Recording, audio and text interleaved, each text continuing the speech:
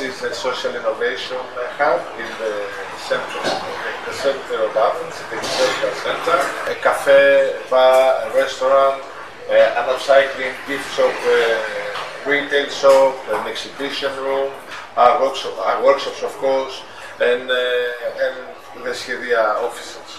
So what we are trying to do and what we aspire for the place to be is uh, to be a hub, uh, a very active hub, you know, an applied social innovation hub, you know, other than saying great things, also doing great things, a meeting uh, point, place for the whole of Greece and the whole of the world indeed, as we collectively strive to support uh, the most vulnerable uh, in this part of the world to support themselves. The age range of the people who are actually really, really active in Shedia and Shedia at home, you know, they start maybe from uh, 16, 18 to you name it, you know, because, because as you very well know, you know, it's, it's we do we, we work uh, we try to work across age barriers, yeah. We, so this is very very good. Shedia really is as a whole, its philosophy is to support people, support themselves, and create for them the, the circumstances so that they can take their life into their own hands. Yeah? Now they've been trained and they cook and they get paid. You know, they do work.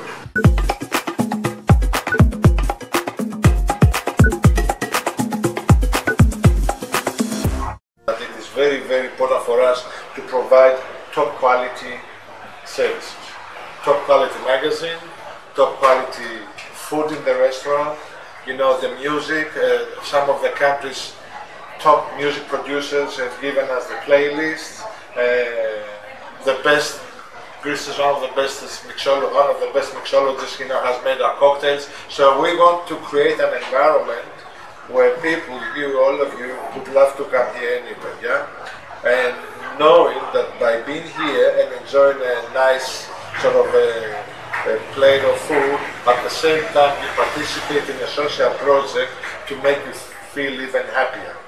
Because we say, you know, that solidarity and, and being being there, social, doing the social good, it's, it also has taste, it has value, it has uh, an aesthetic value, it can be tasty, wonderful, easy listening, it can be everything, all this together. And this is what we aspire to do, to provide top quality services.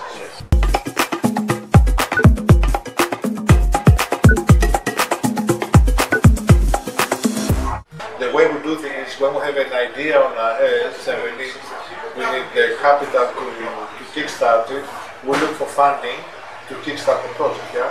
And then we try to have a plan in place where we will be self-sustainable, yeah? For this place to be sustainable, we need to sell coffees, we need to sell cocktails, we need to sell food. This is the only way we can be sustainable. So whatever we do, this is what I said before, what to be socially useful in a sustainable way. And I think that uh, the fact that we keep going after so many years is, is, success. It's, it's, it's, it makes us happy. Because social economy is the only way forward. I mean, I remember an interview with, uh, had an interview with, uh, with a great, uh, with a great man, uh, uh, Mr. Yunus, a couple yes. of years ago, and he, one of the things he said is that every single company in the world should be a social business you know, and not just have it as part of the CSR section. Yeah. They should focus on the person. And that's what social economy does. It focuses on the person and not on the profit.